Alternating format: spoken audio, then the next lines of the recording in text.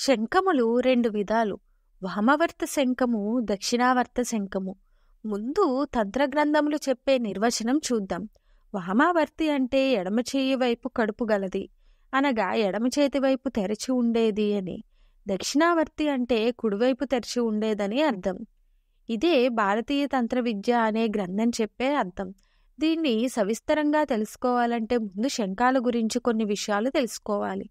శంఖం అనేది గంగా అనే సముద్ర జాతి జంతువు అంటే నత్తగుల్ల జాతికి సంబంధించినది. ఇది తెరుచుకుని ఉన్న భాగమే దీని కడుపు లేక నోరు. తలవలే ఉండి ఊదే భాగం అంటే శంఖాలను ఊదుతారు. ఊదేటప్పుడు నోట్లో పెట్టుకునే భాగం దాని యొక్క పృష్ఠ భాగం అంటే వెనుక భాగం లేదా తోక భాగం. దీనినే గుండ్రని కన్నం చేసి నోటితో ఊదుతారు.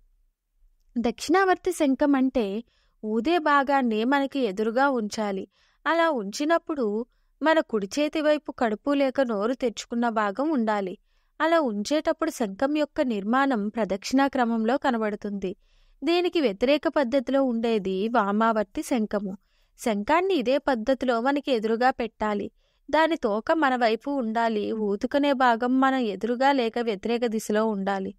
అలా ఉన్నప్పుడు కడుపు లేదా నోరు దక్షిణావర్తి కుడివైపు ఉంటే దక్షిణావర్తి ఎడంవైపు ఉంటే వామవర్తి శంఖాలు అంటారు. అసలు ఈ శంఖం ప్రత్యేకత ఏమిటి? ప్రత్యేకత ఉండబట్టే కదా దీని గురించి ఇంత వివరంగా తెలుసుకుంటున్నాం. దక్షిణావర్తి శంఖం చాలా ప్రత్యేకమైన తాంత్రిక వస్తువు. అమితమైన ప్రచారం గలది. సముద్రంలో జన్మించింది ఆధ్యాత్మిక రూపేణ శ్రీ మహాలక్ష్మితో పోల్చబడిన వస్తువు. సమస్త సిరులను భోగభాగ్యాలను ప్రసాదించగలదని తంత్రగ్రంథాలు చెబుతున్నాయి. పూర్వీకులు శ్రీకృష్ణుడు అర్జునుడు వంటి వారు ఒక్క యుద్ధకాలంలో తప్ప ఇతర సమయాలలో పూజా స్థలాలలో ఉంచి దీన్ని పూజించేవారు. శ్రీ మహావిష్ణువు చతుర్భుజుడై ఒక చేతిలో దీన్ని ధరించినట్లు పురాణాలు చెబుతున్నాయి. దీనిని లక్ష్మీ సహోదరిగా కూడా వర్ణించారు. కారణం ఇది సముద్రంలో జన్మించడమే. దక్షిణావర్తి శంఖం చాలా అరుదుగా లభిస్తుంది. రామేశ్వరం కన్యాకుమారి వంటి స్థలములలో తప్ప అన్య ప్రదేశాలలో దొరకదు. ఈ దక్షిణావర్తి శంఖం మ్రోగదు. మ్రోగేది దొరకడం చాలా కష్టం. అలా మోగేది దొరికితే ఎంత ఖరీదైనా కొని ఇంట్లో పెట్టుకోవచ్చు. దోషయుక్తమైన శంఖం మంచిది కాదు. దోషాలంటే పగిలినది విగిరినది. మొక్క ఒక చిన్న ముక్క ఊడినది పనికిరాదు. పల్చని పొరల వంటి గరుకైన ముక్కలు ముక్కలుగా కనిపించేది ఉండరాదు. కన్నములుండరాదు బచ్చలు లొట్టలు అలాంటివి ఉండకూడదు. శిఖరం లేక తోక రెండు విరిగి ఉండకూడదు. తెల్లని తెలుపు రంగు అయితే సర్వశ్రేష్టం. అలా కానప్పుడు పసుపు చిన్న ఎరుపు రంగుల మిశ్రమం కూడా పర్వాలేదు. దక్షిణావర్తి శంఖం ఉపయోగాలు.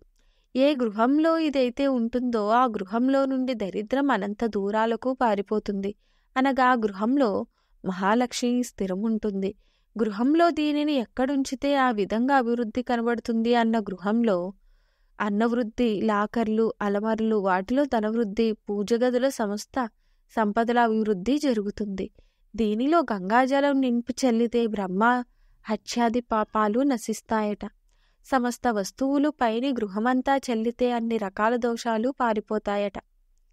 భూత ప్రేత పిశాచ బాలగ్రహ దుష్ట గ్రహాదులన్నీ తక్షణం తోక ముడిచేస్తాయట రుణ రుణశక్తులన్నీ పటాపంచలైపోతాయట.